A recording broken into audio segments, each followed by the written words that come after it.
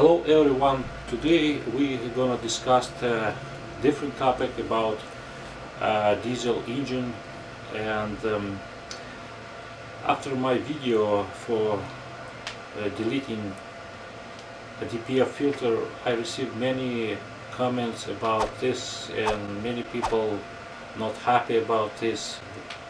I'm not encouraging anybody to delete a DPF filter or uh, this after treatment system.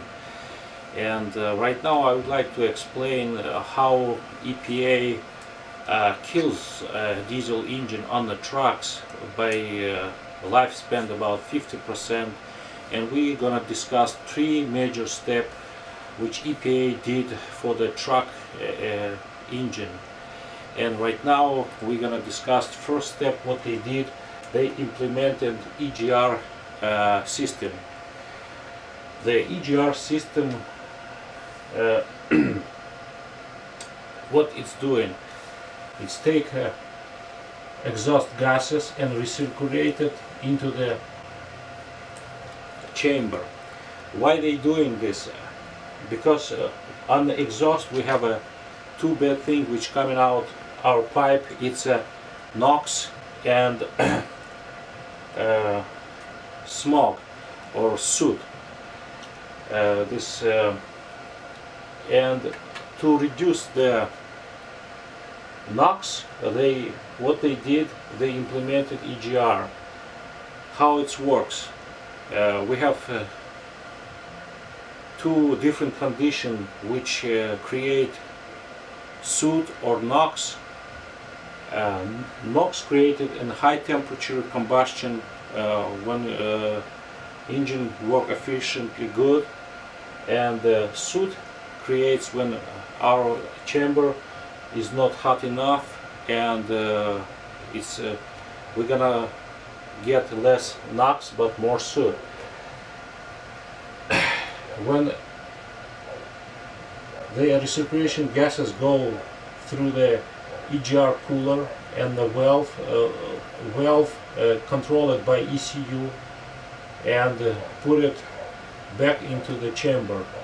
And chamber start to works cooler and uh, we receive less NOx when we receive less NOx but we uh, creating more soot uh, soot is uh, like uh, fu uh, not fully un, uh, burned fuel.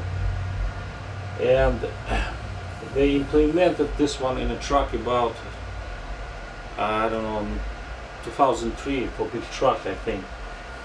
And this is was step it was first step and engine start to uh, suffer because it's lose power because we're getting more soot and more soot coming back into the engine. And uh, engine start to wear because the soot end up in uh, oil and oil when it's circulated by the engine it's um, uh, clog some stuff and build up it's make build up inside the engine also it's uh, premature wearing the bearings also the rings and uh, this is not good for engine it was one step what they did uh, to kill the engine uh, after this they check on exhaust and they see the smoke too high. NOx is low but smoke uh, soot is too high. And what they did second step what they did they put a DPF filter. The DPF filter what they try to do with DPF filter to reduce the soot. The DPF how it works. When exhaust gas is coming here go to the uh, filter. This is a very fine filter like uh, one micron. And uh, this filter collect this uh, soot inside the filter. And when when the soot this build up inside the stuff the back pressure goes to the engine and we have somewhere a sensor which measuring the backup pressure Oh no, it's over here. This is delta pressure sensor, differential pressure sensor. And after this, we need to regen, to clean this one. For this purpose, we have DOC. This is like a catalytic converter. What has happened? We have injector here with uh, fuel. Diesel fuel goes here. When it's hit DOC, it, uh, here is an explosion. And uh, pretty high temperature, about 600 uh, Celsius, start to burning fuel here, and and this filter getting hot and burn out all soot which collected here. And this is a second step. This step, because this one create more soot, this one they try to burn soot here. When they burn soot here, these things create NOx because the high temperature create NOx. And this is a second step what they did. This step is not good because when it start to clogging, before we have regeneration, we have back pressure. Back pressure not good for your turbo. Also, it goes back to the engine. We have too much back pressure and more soot coming into the engine and this is still not good and but they not they didn't stop on this they did third step after this is uh, after 2010 they did one more thing they added it's like catalytic converter but uh, this is a SCR they implemented SCR to reduce soot No, not soot. They reduce the NOx because they already reduce here soot and they try to reduce NOx. They implemented this one. How this one work? We have a here we have in- injector. And this injector injects urea eh, like a DEF fluid which we have on a gas station.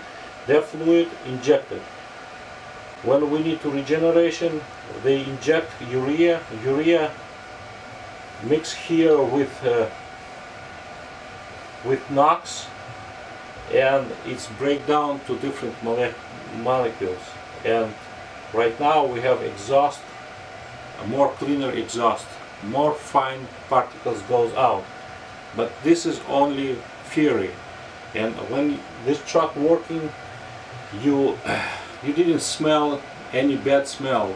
Because it's this one is burn so fine particles. When you breathe in you're not feeling anything. It goes in your lungs and your bloodstream and goes to your brain. And right now we we we're gonna check how bad this system and they're thinking will reduce pollution but actually the pollution not go anywhere because it's go inside the engine it's burn it should go outside. But because this system it's eat too much fuel to inject here to burn through DOC DPF filter. Also it's reduce these things reduce the power. We need more fuel to compensate this. Also these things urea it's cost money to inject and to manufacture these things. And too much expenses and DPF filter and all this after treatment filter system it's very expensive to build this and make it. You spend more energy to do it and more pollution. Right now we we understand this. If you see the smoke coming from the pipe you're not gonna breathe this smoke because it's you can see and smell it but this smoke you cannot smell it and see. You're just breathing. Also this system not working perfectly. When urea goes inside it should mix uh, with uh, NOx. These um, molecules of urea and NOx should mix it and break down and make different formula but many uh, many of urea just go outside from exhaust and many trees dying because of this alongside the road. And when sometimes you're driving behind your truck and you can feel the smell of uh, ammonia which they use to do this one. And right now we we have many reasons believe this system it's not doing any good to to environment. Because if you calculated or spending everything this one it's gonna be same amount of pollution which we got without this system. And your engine life gonna be three times better without this old system. And you shouldn't build new engine because it's cost money it's cost pollution it's cost everything. And right now I think I explain what I'm thinking about this system and uh, that's it for now. If you have any comments just comment and thank you for watching